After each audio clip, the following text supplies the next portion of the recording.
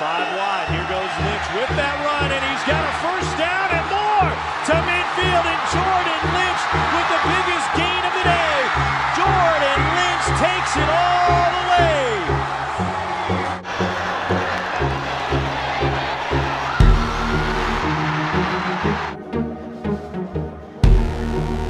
Snap, Radcliff looking left, blitz coming, throws, it's caught oh, by Titus Davis, he's going to walk into the... David Harman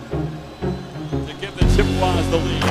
Here's the snap high, the kick is up, doesn't have enough distance, got it done! Maddox 32 to 31, comeback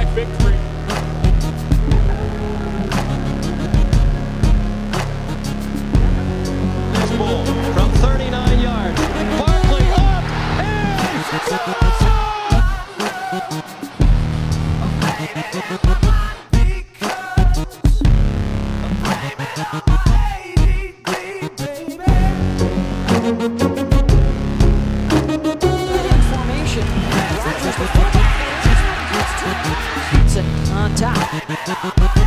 First and 10, Van